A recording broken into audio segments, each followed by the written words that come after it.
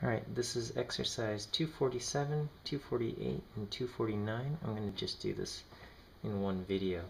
247 says, in a study of the lizard something something, biologists measured the distance run in 2 minutes for each of 15 animals.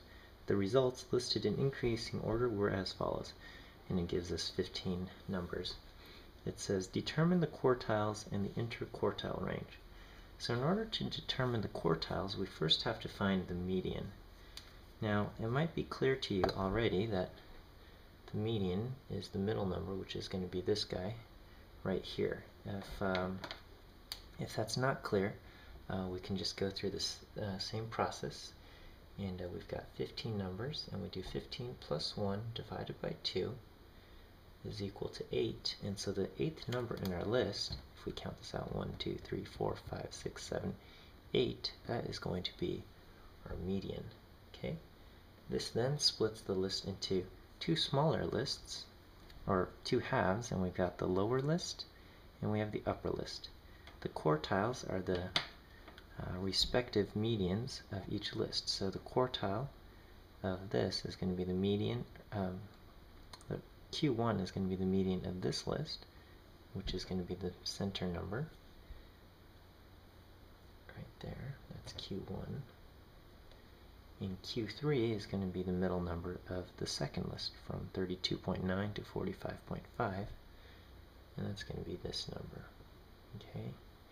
And again, if that wasn't clear, uh, you can count the number of numbers in the list, in this case, which is 7. You do the same thing, 7 plus 1 divided by 2 so that's going to give you 4.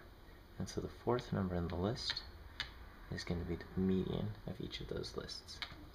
Okay, so in this case we have Q1 is equal to 26.4 and Q3 is equal to 37.5. The IQR is defined again as Q3 minus Q1. So we do 37.5 minus 26.4 and we get 11.1 that is our IQR uh, part B asks us to find the range. The range is the largest number or the max minus the smallest number or the min so in this case, we have 45.5 minus 18.4. That's going to give us 1, 5 minus 8, 7, 3 minus 1 is 2, 27.1 is our range. Alright, so that's 47. 48s tells us that the sample mean, or y bar, is equal to 32.23 meters and the standard deviation is equal to 8.07 meters. A asks us how many are within one standard deviation of the mean. Okay, so to find this, we're going to put our mean right in the middle here and we're going to go up one standard deviation. And if we do 32.23 plus 0.807, that takes us out to 40.30. And then we're also going to go one standard deviation in the opposite direction. So we subtract off 8.07, and that gives us 24.16. So if we go to our original number and we look at the numbers between uh, 24.16 and 40.30, um, everything between here, continuing on, up, up, up, up, up, up, up, all the way up to here, okay? So everything in these green brackets are included within one standard deviation. So if we count that, we have 1, 2, 3, 4, 5, 6, 7, 8, 9, 10 numbers got 10 numbers out of 15 total are in one standard deviation.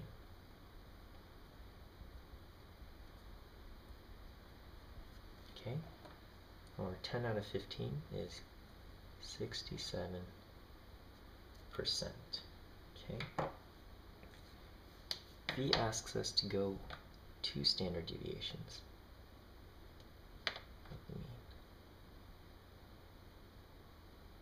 Okay, so we do the same thing.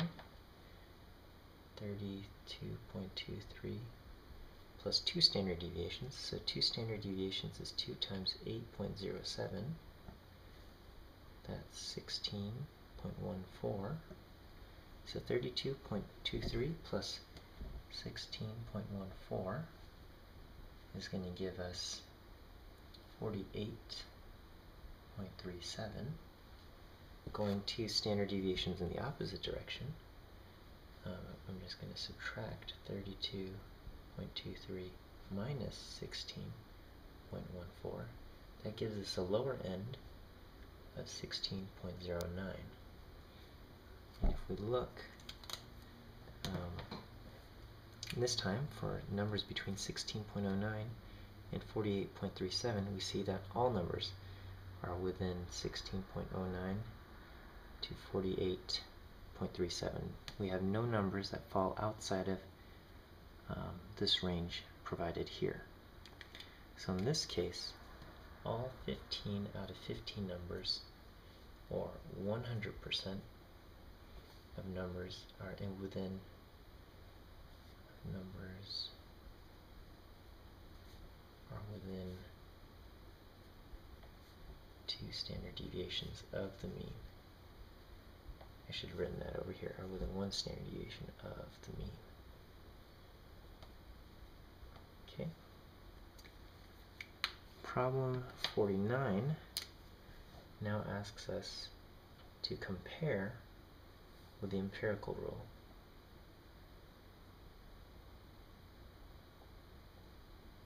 Alright, the empirical rule states that uh, within one standard deviation of the mean, we expect about 68%. Alright, and what we observed is 67. So 67 versus 68, it's pretty close. Alright, it also states that within uh, two standard deviations of the mean, uh, we expect about 95%. What we ended up observing was 100% of the numbers falling within the mean. So um, maybe a few more in our case. Um, but you can see that the empirical rule is a pretty good estimate or uh, approximation um, for our set of data. And um, across the board, if you observe uh, data from real life examples, um, in general, the empirical rule holds quite closely. So that was 47, 48, and 49.